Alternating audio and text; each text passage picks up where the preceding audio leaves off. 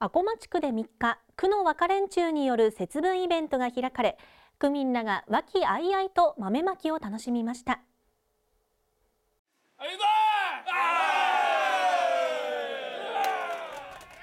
この日は阿古町区の和歌連中15人が赤鬼や青鬼、それに福の神に扮して区内およそ80軒を回りました。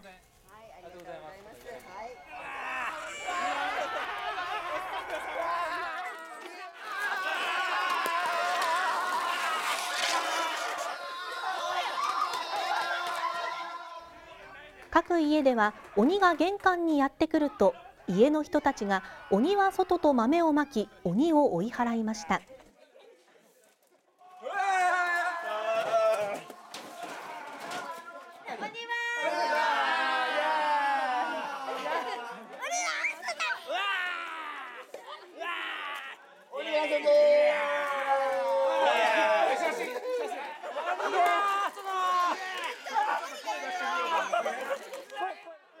節分の豆まきには鬼に豆をぶつけて邪気を追い払い一年の無病息災を願う意味が込められています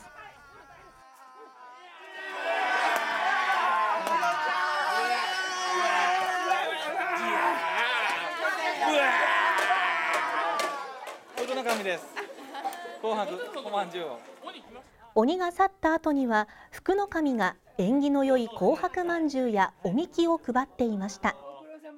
様です。ありがとう。似合いますね。ますか。多分僕が一番フグっぽくないけど。あのすごく楽しみです。新潟でよろしいです。うん。阿古町区では区の若連中が地元の活性化を図ろうと10年ほど前から手作りの節分イベントを行っています。